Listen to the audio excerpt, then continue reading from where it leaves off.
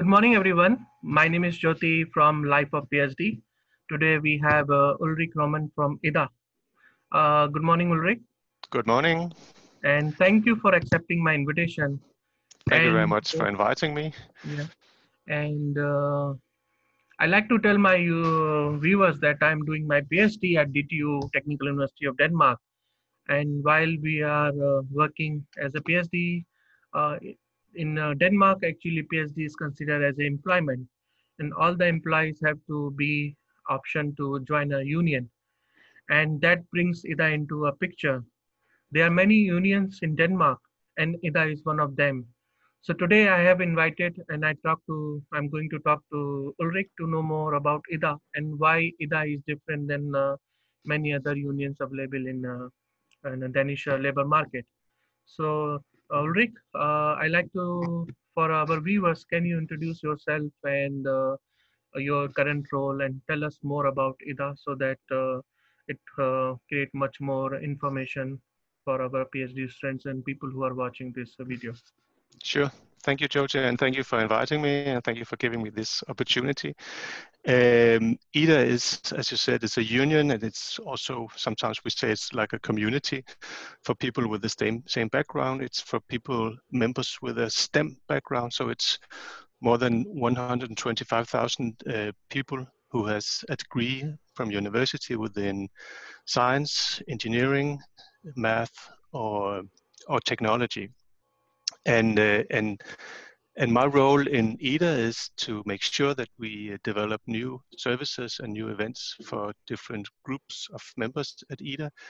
And during the last two years, I have uh, specifically been looking into a group called PhDs and Young Scientists, and that's where I have met you. So my role right now is to make sure that we have uh, some interesting stuff for this uh, this group of, of members, and um, and I would, of course, like to, to talk more about that specifically. Now we are talking to PhDs and, and young scientists. Thank you. Mm-hmm. And uh, why would somebody join IDA not other unions available in a, in a, in a Danish uh, labor market? Well, first of all, maybe I'd like to say why it, the, the unions are so uh, common in, in Denmark, because I know many of your viewers would come from countries where it might not be that common to, to join a union. Uh, more than 80% of uh, wage earners in Denmark are actually signed up in a union. And uh, what is very normal in Denmark is that the, conditions on the labor market is agreed between the unions and the em employers. Uh, so there's not so much legislation and not so much uh, government uh, involved, and that's why for most Danes it's, it's, it's very normal to be a part of a union. And what we've done in Denmark is that we have kind of developed different unions for different kind of of groups on the labor market. So we have unions for people with university degree, and uh, within different university degrees, we have a specific union for people with uh, science, technology, engineering, and math, and, and that's that's IDA. Unfortunately, we have a, a, a, lot of people coming out of university with these degrees, so so it's it's kind of grown. So so it would be kind of normal for an engineer in Denmark to to sign up at IDA. Um, what we do and, and why people sign up is is different kind of services. First of all, we, we help to have a good working condition at the labor market. And that's kind of the tradition in Denmark. So, so we help make sure that you get the right salary, that you get your, your benefits like a holiday and maternity leave and stuff like that. And we do that both uh, collectively. So if you're publicly um, employed, then the, we will help you with, with your with situation there. And if you're privately employed, we can help you individually. So we have uh, a lot of uh, counselors uh, with uh, um, legal counselors that, that can help you look at your contract and, and stuff like that. So, so basically your working conditions, that would be the traditional uh, part of a union. But also we have uh, career counseling. so for instance, now I'm working with PhDs. I know that uh, the situation right now in Denmark is that, that when you finish your PhD in Denmark, then uh, nine out of 10 of you uh, would be looking for jobs outside academia. And, and I realized talking through, uh, to a lot of PhDs that, that that might be a bit uh, frightening because what's going on outside academia is not always something that you know when you when you're working hard inside the university. So so one of the things that that we do in IDA is we try to connect uh, you young scientists to uh, companies uh, outside academia, and and and that's uh, something we've been working together with uh, you and I, Jyoti. So that's been a pleasure. So so I'd say working conditions, salary, helping getting the the next job is some of the most important um, issues that that we help PhDs with. But, but also we know that that uh, or through my work, I found out that PhDs uh, have have other pains. Uh, we realized that especially people coming from abroad might be kind of lonely. They work hard at universities, so it's sometimes it's difficult to get new people. So so another thing we've been doing together with the PhD Association at DTU is to make some social events. So that could also be a part of IDA. Uh, we have had uh, a quiz night at uh, DTU, and that mm-hmm. was really a pleasure. And uh, great fun. Um, doesn't always have to be something about your subject and uh, working and studying hard. Could also be uh, meeting up with other IDA members for uh, two or three hours, having a free beer and a meal and, and a, a quiz. So that's that's also part of the things that we're working on and, and I have been working on. Uh, you mentioned there are around more than 100,000 members in IDA. Yeah. Yeah. And uh, how do I do uh, networking with other? Uh, uh, what are the professional networking opportunity available through IDA, where I like to improve my networking circle? Well, the, the different possibilities. Actually, what IDA is really good at is is that we have more than 50 professional networks, mm-hmm. uh, network, and and that is for people who have maybe studied or working within the same field. For instance, if, if you're building huge bridges in concrete, we have a network for all the engineers and, and scientists uh, in, that is to that field. So if, if you're working with that, either as a student or a PhD or working in a, a big uh, company, then you meet up and have uh, social gatherings and you have uh, gatherings where you have people coming, uh, flying in and, and talking to you about the latest science. So we have these kind of networks built around specific topics. Uh, and, and I'm sure that, that most of you will find uh, a network or two that's uh, interested, that that suits your topic. We have uh, IDA chemistry, we have IDA IT and stuff like that. And we even have sub, sub communities. Um, and also when I talk to members, that's one of the things they mention that they really like about IDA is the possibility to meet others within your field. So you you make sure, especially if you're new in Denmark, that that, mm-hmm. that you meet the companies and stuff like that through the network. And we also actually have a PhD network. Um, but what you have in common there is that you have a PhD so so you you might find the PhD network is, is a way into to to uh, to see our events and and also meet other PhDs. But not maybe specifically within your field. So so that that different possibilities. And thank you for asking that. So I didn't forget that. and um, Ulrik, uh, you mentioned that uh, we can get help with the negotiation, salary mm-hmm. negotiation. We can also get help with the CVs. Yeah. There's a lot of webinars you organizes through where you bring consultant and all. But how about uh, workplace conflicts? If uh, I have uh, some conflicts with the employer where, where does IDA come into picture whom should we contact can we contact union or should we try to solve it through employer you can always contact the union also before you try to solve it with your employer. Of course, we hope that that you solve it before it gets to a real conflict, because that would also be the Danish way of, of solving things. But but we have uh, we have a lot of lawyers, and actually, what the lawyers do is sometimes they bring these conflicts to to to the court, and and and that's uh, fortunately that's not something that happens every day, but it's part of of, of uh, being a member as well. You can get uh, you can get uh, legal uh, help and and and people see that as, as a huge benefit because if you were to buy a private lawyer, that would be a really costly uh, affair. And and and our lawyers already have a good, what you say, communication with with some of the big companies in Denmark. So often we avoid the, the conflicts and, and and find good solutions together. Um, we advise all our members when they sign up for a new job to to send us their contracts. So we look mm-hmm. through the contracts with our members, and sometimes uh, we find if there's something that might be a problem later, we find it already in the contract and we make sure that the contract is good. And also for the employers, they, they find it good that, that they have a good negotiated contract. So, so fortunately, we do not have that many conflicts, but, but in case we do, we can also help you. That really uh, confirm that uh, Denmark, Denmark is one of the happiest place on a world to work with because we have less conflicts because people try to solve it at very early stage of uh, yeah. i think i think uh, that's that's part of the good part of this mm-hmm. this union thing in denmark that that also we try to solve it uh, between the unions and the companies instead of uh, bringing it to the government. And so the government have to to make laws about everything mm-hmm. we, we can solve it ourselves. That's that's the point of the danish model. Mm-hmm by joining the union, do we have any additional benefits? For example, uh, for example, A-kasse unemployment benefit or insurance benefit.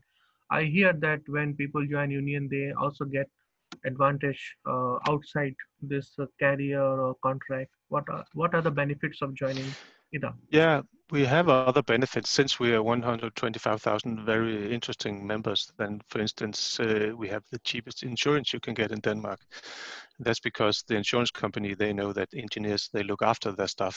so, so actually, uh, you might find that our insurance company is more than 30% cheaper than if you buy insurance outside, uh, and and that's a good reason for that. So, so also many of our members they they like IDA because they save a lot of money on their insurances. Uh, and and and when we are so many members, we also have some some banking benefits. So if mm-hmm. uh, if you join bank through IDA, it's not an IDA bank, but it's a, a company that we work together with, then you also uh, might find some some good uh, stuff there. And and actually, we have benefits uh, concerning uh, traveling and hotels and, and stuff like that. So that's that's why I both call it a union and a community because when you have a community of, of, of talented and, and, and important persons like engineers and scientists, then we also get other benefits for you. Yeah. Then you mentioned A-kasse, and it's important for, for people just coming to Denmark to realize that union and A-kasse is not the same. Mm-hmm. So if you want to make sure that you have unemployment benefit, uh, for instance, after you finish your PhD, then it's important that you sign up both in a union and an A-kasse.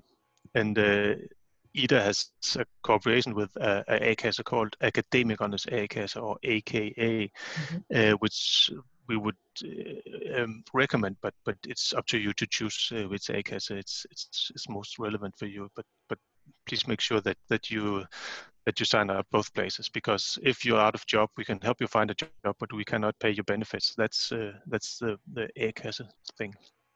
That's really actually useful information. I think a lot of PhD didn't know about it especially because A-kasse and uh, unemployment benefit and uh, even the cost of insurance uh, saving mm. 30% is a big uh, big mm. thing for joining union thank you for that mm. and, uh, and about is... about A-kasse sorry about A-kasse I think what many people in Denmark experience is that, that when they finish their master or when they finish their PhD, there's often a, like two or three months before you, you start your new job and get your first salary and and just getting benefits from A-kasse for two or three months that would cover more than than, than five or six years of, of, of your of your membership fee. So for most people, it's a, it's a good uh, it's a good business case to to sign up for A-kasse. And and the same with with IDA because mm-hmm. the money you save, for instance, in your insurance is, is often as much as as you have to pay to be a member. Uh, that makes me really curious. Uh, how can somebody join IDA? What is the procedure? And what is the right time to join? Yeah, I think that when you are, if you're a student, um, now we're talking most to PhDs, and when we're PhD in Denmark, you are employed. So, so uh, if you're a student, you can you can become a student member. If somebody is watching this and, and they're doing their masters in Denmark, mm-hmm. and that's a very cheap membership, and, and and we recommend that you sign up every time because you get the benefits without almost having to pay anything and when you are employed, we uh, recognize that you, you get paid. So so uh, it's it's a bit more expensive when you have like a common membership or a normal membership. And uh, I think that you should uh, sign up right away because you never know when you have this conflict with your company with your with your your company, or, and you never know when you have to look to in our wage uh, salary uh, system and stuff like that. And also we know that that PhDs have great help from our career counselors when trying to find out what's next step after PhD. So how to do this CV stuff, how to approach Danish companies and stuff like that. Uh, so I, I, I actually what you can do, all of you watching this, is that you can always have three month membership for free. Mm-hmm. Uh, and we do that because we know that most people after the three months they are quite pleased and, and, and, they choose to stay. So you can actually have three months where you can try out our, our career uh, guides and and uh, and um, and stuff like that.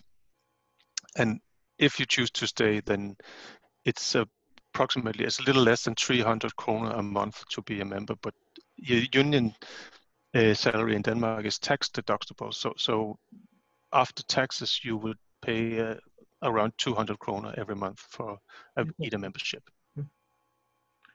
Uh, thank you, Ulrik. I think uh, we have a lot of information. And uh, uh what are the upcoming events actually where uh, people can attend? You said uh, you are planning some events in coming future. Yeah, and fortunately, I've been doing events with you mm-hmm. for for now two years, and it's been a, a, huge pleasure. And one of the things that we have developed together is is the something we call IDA PhD Day. Mm-hmm. And we do that uh, one time every year. And PhD Day is a whole day where you you you come here at IDA at uh, mm-hmm. Copenhagen, and we have invited a lot of companies. So that's a possibility or, or, opportunity to meet some of the companies that might be interested in you. Actually, PhD days is, is for people that are almost finished their PhDs and wondering what's going on outside academia. Maybe I could get a job in, in a company or on the public sector for, for that case.